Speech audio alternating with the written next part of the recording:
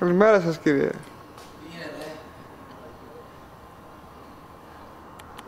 Όχι, ναι, άμα είναι θα μας πάρει σε άξιο. Να υπάρχει όλο, να δουλεύει εδώ ο κόσμος, να γίνεται. Τι, έτσι τώρα τι να το κάνει; Αλλά αυτός τους τέτοια κάνει, έτσι θέλει να έχει μια κορεδεύει με τα κατάσταση, αυτό ένα άδειο ήταν και μας έπαιρνε πάνω σε μόνο και και έπαιρνε καφέ. Ναι, ναι, έπαιρνε καφέδε και εμείς εδώ. Αυτός το λεφταράκι, αυτός που λέει πρωτοσέλιδα. Μπράβο.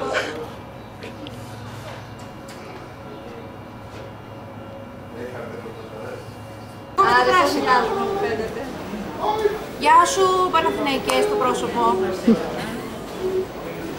Βάλε και το χέρι. Δείτε, δεν Ναι, εδώ το και χέρι, το ναι, άλλο. Α, ναι, σήμερα σωστό. εδώ, ναι. Για πρώτη φορά στη ζωή μου να μην κυκλοφορείς παρακαλώ διεθνώς αυτό. Όχι μωρέ, μόνο στο ίντερνετ θα βγει, εντάξει. Όχι, δεν θα το αντέξω. Μην κρύ- κρύψεις το πρόσωπό μου, δεν είμαι εγώ που το έχω. Γυρνάρε. Πάτησε στο αυτό, Ναι. το κόκκινο, το κουμπάκι.